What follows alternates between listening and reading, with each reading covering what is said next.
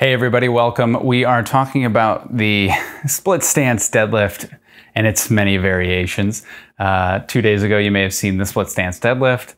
Yesterday, you may have seen a contralateral offset load and or messed up an ipsilateral uh, offset load. And today we're doing the contralateral offset load. So here, contralateral means my working leg is opposite the weight.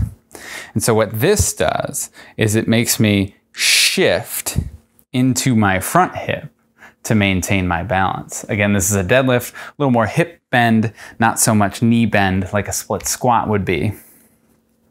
And from there, once we're set up, we can kind of come straight up off the ground.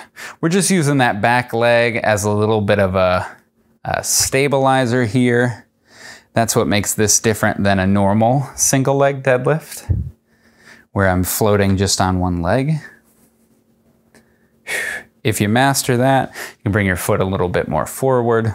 Again, this contralateral weight teaches me how to shift into my front leg a little bit more. So I'm gonna need more hip mobility if I'm gonna do it correctly.